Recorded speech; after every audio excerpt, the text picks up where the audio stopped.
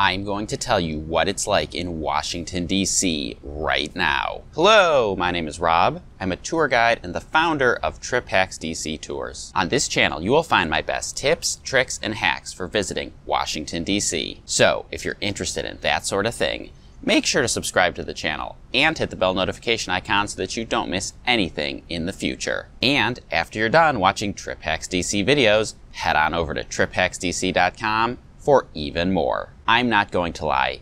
2020 has absolutely wrecked the tourism industry. And I've even said, given the current situation, it's probably going to be pretty hard to get on an airplane, travel here, and still have a great trip. But people still have asked me, out of curiosity, what it's like in Washington, D.C. this summer. Today is June 21st. Two days ago, on Juneteenth, I grabbed my bike and my camera to take a ride around the city. So make sure to stick around to the end of the video where I give my top three takeaways from my day of exploring. With that said, let's get started. I started my day at the same spot where I usually start my tours, the tidal basin, specifically the Jefferson Memorial. The thing that I noticed when I came around the corner is that there was nobody there.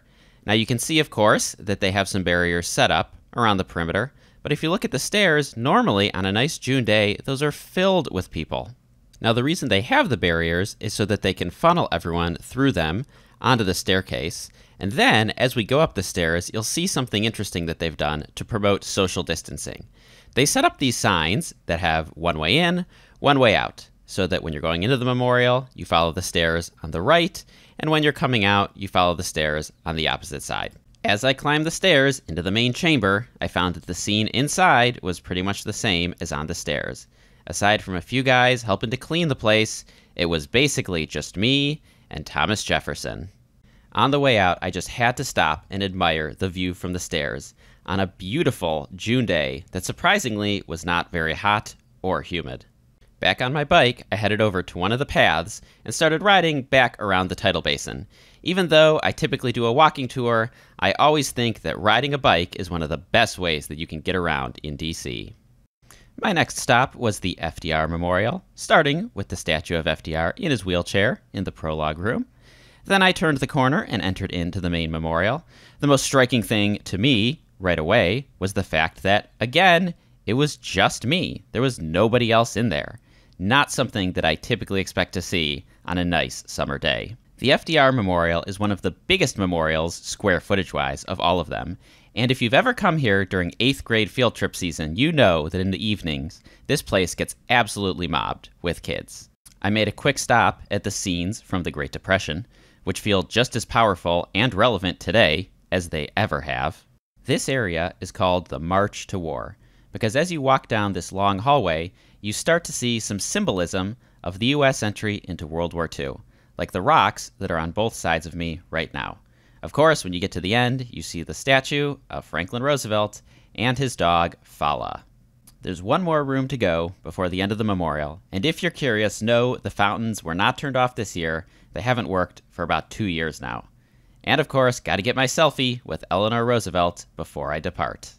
One thing I noticed as I was heading to my next destination is that many of the concession stands on the National Mall are closed, which means it's more important than ever to remember to bring your water before you head out for the day. My next stop was the Martin Luther King Jr. Memorial. This was, honestly, the first time I'd seen more than one or two people at a time at one of the memorials. These guys on the outside had some Black Lives Matter shirts, but it looked like they were on their way out. As I headed into the memorial, you can see the statue of Martin Luther King as you come around the corner. This is, in my opinion, one of the best statues of all of the statues on the National Mall. And one of the reasons I really like it is because it's outdoors, so it always looks a little bit different, no matter what time of day or time of year you come to visit. There were a few other people in here, but really not that many. Of course, got to get my selfie while I'm at this memorial to document it. And just to show you that there really weren't that many people here, this is what the quotes on the side of the memorial look like. Now, I do think there were some people who came later for a Juneteenth activity, but at least when I was there, it was pretty quiet. Back on my bike, I crossed Independence Avenue and then came upon the DC War Memorial. Now, if you've ever come on tour with me, we might have seen this one. It's usually pretty quiet, so the fact that there were two people there actually was about right for what I'd expect at this one. My next stop was the Korean War Memorial, and honestly, I was blown away by the fact that when I arrived, it was literally just me and one other person, this person that you can see standing right in front of me. Now, if you've ever come on tour with me before, I have said that I think this is the most underappreciated of all the memorials on the National Mall. The statues of the Americans in the Korean War are really quite powerful, and a lot of people say that they take on a bit of a ghost like appearance when you see them, especially if you see them after dark. Now, there's a debate about whether coming here after dark is really the best. I actually think it's quite amazing to come here right around the time that I did because you can see the reflections of those statues in the granite wall on the left. I think that is really cool. And then when you walk down that wall, you see the reflections in the background, you see the etchings of Americans who served in the foreground. This is really just an amazing experience and one that honestly you can't have when there are a hundred other people in here experiencing it with you.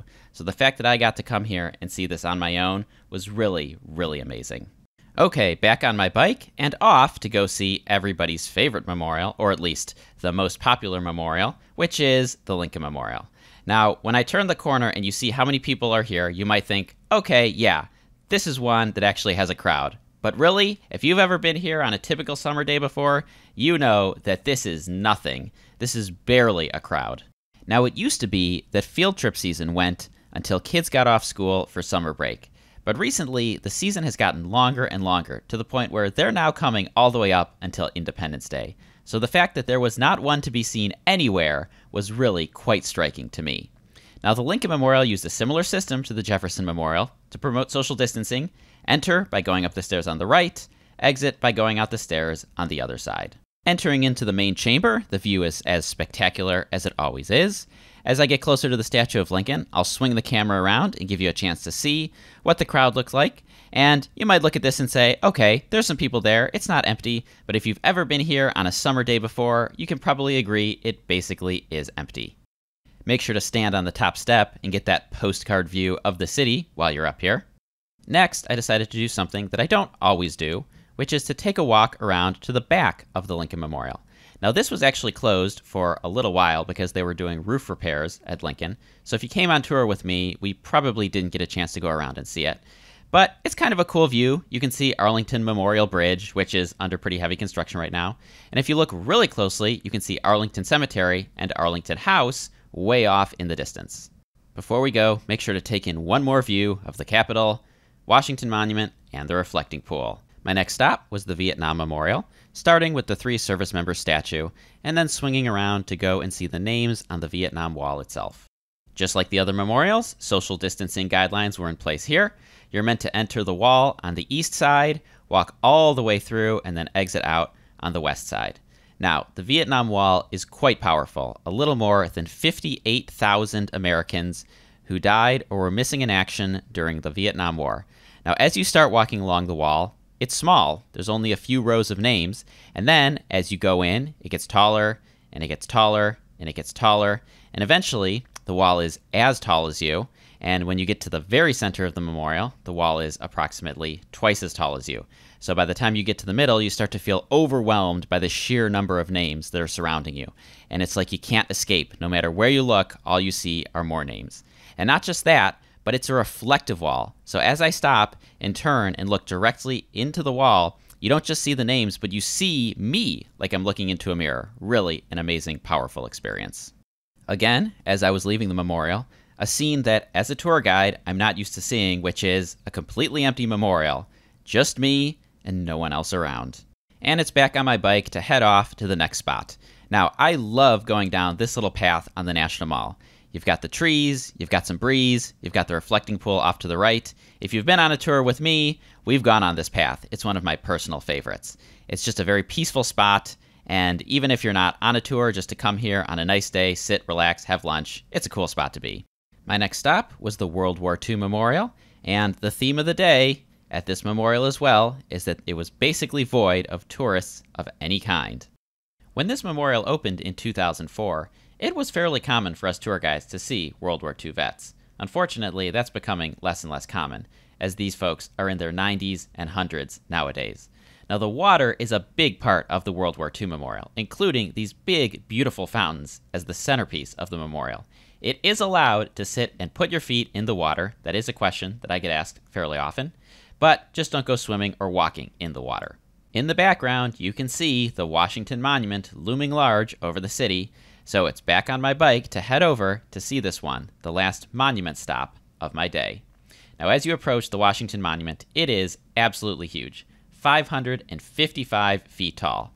Now, this is one of my actual favorite spots in the entire city because if you look to the east, you can see the Lincoln Memorial off in the distance. You turn and look to the north, and you can kind of sorta see the White House over there behind the trees. And then you look to the west, you see the museums, and eventually you see the Capitol Dome off in the distance. When I was at the Washington Monument, I heard some noise coming from the area around Independence Avenue. So I got on my bike and doubled back just in time to catch the front of this Black Lives Matter protest group. It was, by my estimation, a pretty large group, maybe a couple hundred people. They were walking down the street, they were chanting. It was a pretty typical protest that you'll see here in DC. And it's worth noting that when you come here, you're going to see protests like this. There are always folks protesting, and it's a pretty common thing. Now, I was stopped on 15th Street to get a drink of water when I heard another group of protesters come through. These protesters were on bikes, and they were really recruiting other people to join in their protest group, which I thought was pretty fun and kind of funny. And they were yelling at me. Several people who came by saw me on my bike, and they were yelling, Hey, come join the protest group. Come ride with us. We're heading over to the African American History Museum. And so I figured, you know what? I'm heading in that direction. They're going that way. Why not join in with this group? And so I started riding along with the group. And the funny thing was that because they had been picking people up along the way, a lot of these people didn't start their day in this protest, just like me. They just got picked up along the way. So there's actually a woman in the group, and she was yelling, Hey, who are you guys? Who are you with? And somebody responded, I don't know. I was just out for a bike ride, and they recruited me. So now I'm on the I'm on the protest ride. So that's exactly what happened to me. That's just the kind of thing that can happen when you're in DC and you're riding a bike you might wind up joining a protest group just like I did. When we arrived at the destination, the African American History Museum, someone with a megaphone got on and said, Thanks for riding with us, thanks for coming out. And then it sounded like they were setting up to do another ride starting at the museum. I decided uh, not to do that ride just because I had other things that I had set out to do, and I hadn't really planned on doing this. So looked like they had a pretty big group, nice group of people who were going to go out on a second protest ride. My next stop was at The Ellipse, which is the park that's located on the south side of the White House. Now, this is typically just a big park. It's got people playing kickball, softball, all kinds of team sports in the summer. If you come here in the winter, this is where the National Christmas Tree is located. This is where a lot of people come to get views of the White House from the outside. So it's a pretty popular spot for tourists. As I was getting closer and closer to the White House, I actually was wondering if they had closed it down because there were so few people over here. I was actually able to ride past, get this video of the White House on my bike without even getting off, which, considering that the crowds are usually so thick that I can't even bring my bike through at all, was really amazing to me how almost nobody was there. Of course, nice view of the Washington Monument and the ellipse as I rode away to head over to the north side of the White House. I headed over to 17th Street and started riding north, and the street was completely empty. There was no cars, almost no traffic. I was just almost in shock to see what I saw because if you live in DC and you work downtown, or if you've ever visited and you've been around this area during rush hour, you know that what you just saw is not something that you typically see. Now, I turned my bike onto Pennsylvania Avenue. I actually wasn't sure if I was going to be able to get onto Pennsylvania Avenue, considering uh, all the closures around the White House recently, but I was. And there's really hardly anyone around. Now, typically, this is where you would see tourists taking photos in front of the White House, or eighth graders on their field trips with their tour guide, learning about the history of the White House or of Lafayette Square, which is where I'm heading next. So, this is Lafayette Square. It looks pretty peaceful. The water fountains are turned off, but otherwise, it doesn't look that out of the ordinary. If you watch that Legal Eagle video that I referenced in my previous video, this is what he's talking about when he says that he used to come here to drink a cup of coffee or eat lunch. It's just people enjoying a park, as you would expect. Now, this is the statue of Andrew Jackson, which, which, does have the fencing up still around it, and some of the Black Lives Matter protest signs are still uh, on the fence, and you can see those, and you can kind of see what it would have looked like a few weeks ago when the protests were at their biggest and they were in the square. Walking towards the White House, you can see that they do have Pennsylvania Avenue shut down directly in front of the White House. They are building a big, taller fence around the White House. That was not the result of the protests, that had been planned for a while. On the other side of the park is 16th Street, now renamed Black Lives Matter Plaza by our mayor. The yellow building in the background is St. John's Church, the Episcopal Church that became a bit famous after the infamous photo op on June 1st this year. And this is H Street, which I wanted to show because it's where the clearing of protesters happened on June 1st, and the international incident with the Australian camera crew getting attacked by the police. It's hard to tell now that all of the barriers have been taken down, but this is where it happened. Now I'm on Black Lives Matter Plaza. The yellow paint that you see on the ground is part of a mural commissioned by our mayor's office, which says Black Lives Matter in big yellow block letters. You can actually see it from space. They even have it on Google Maps now on the satellite view. So it's pretty cool to look down and see it all written out like that. These couple of blocks were definitely the spots where I saw the most people on Friday. After that, I wanted to head over to the Capitol building to see if there was anything happening over there, or if there were any tourists visiting. So I started going down Pennsylvania Avenue. I did notice this group of Black Lives Matter protesters in Freedom Plaza, which is right across the street from our City Hall. Pennsylvania Avenue is admittedly a pretty cool spot for a bike ride, and one of the rides that was mentioned in the Trip Hacks DC podcast episode on this topic. When I got over to 10th Street, I heard another protest group. This one was a little bit smaller than the one I saw on Independence Avenue earlier, they weren't really marching as much as they were standing in this one spot. Now, the interesting thing about a lot of the Black Lives Matter protests is that they're not organized by a single organization or entity. So, a lot of small ones tend to spontaneously pop up as individuals organize them. After a few more minutes, I'd made it down to the Capitol, and as I rode past on the west side of the building, it was very quiet. There was almost nobody around, hardly any parked cars over here, hardly any people out and about, just a very quiet spot. Once I got to the top of the hill, it was a pretty similar story. Not a lot going on, pretty cool view of the Capitol Dome as I rode past. Now, the Capitol Visitor Center is closed, and so it's not that surprising that the only person on this plaza was another jogger and me. But it is pretty surprising because there was no protest, there was no tourists, nobody taking photos. I did try to get a selfie as I was riding away from the Capitol because I figured, hey, why not? I'm here and nobody else is here, so might as well get my own selfie. Earlier in the week, the Supreme Court had handed down some big decisions, so I swung by their building. Again, basically nothing happening, pretty quiet over at the Supreme Court. And finally, I rode down East Capitol Street, which is directly east of the Capitol. It's known for having some of the classic Capitol Hill row houses, very beautiful architecture, very beautiful houses. And that was it. That was my ride, and it was an interesting one. So at this point, I decided to turn the corner, turn around, and head back home. Okay, so as promised, my top three takeaways from today. First, if you live in DC and you have not come out to see the monuments and memorials without the crowds, you are missing an incredible opportunity. In my many years of giving tours on the National Mall, I have never seen it look anything like this. It's not going to look like this forever and who knows how long it's even going to last. My second takeaway is that protests are still going strong. So if you visit this summer, expect to see some and even participate if you want. And third, if you come, make sure you stay safe. Outdoor activities are among the safest things that you can do right now. And even though it wasn't that crowded at the monuments on Friday, I could start to see that changing. So be smart and follow the guidance that they've set up for you. And hey, if you made it this far, then you really like Trip Hacks DC. So go ahead and click or tap right over here to watch another video. And if you decide to come to DC and want to sign up for a Trip Hacks DC guided tour, you can click or tap on the Capitol Dome on the left side of my head. That'll send you right over to triphacksdc.com where you can see all of the tours that we offer. Enjoy your trip!